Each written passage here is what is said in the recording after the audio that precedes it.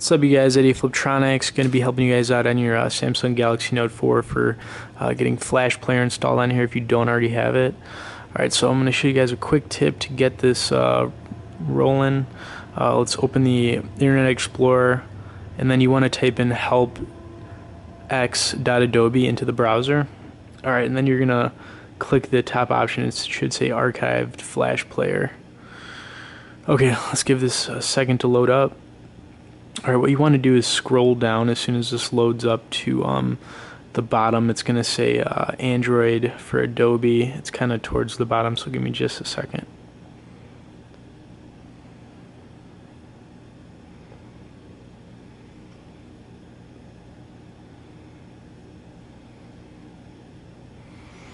Yeah, it looks like it's basically the last option here, guys. You'll see it'll say um, Flash Player for Android. Alright, what you want to do is click the uh, most recent link at the top here. This one's 11.1, and then it's going to start a download. So let's just check that out.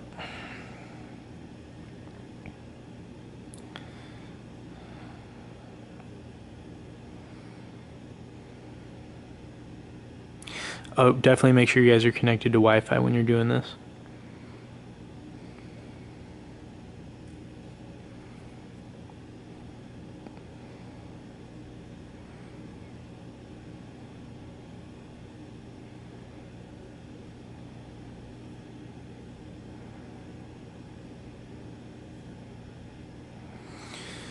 Okay, installing this shouldn't take very long. You can see right there it just installed, so it didn't take very long at all. And you can see I should have it somewhere on the background here. Hold on.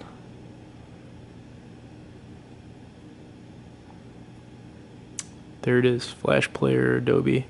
Anyway, anyways, guys, just a quick tip if you're trying to get Flash Player on your Galaxy Note 4. Thanks for watching this video, guys. Stay tuned for more and be sure to subscribe to our channel.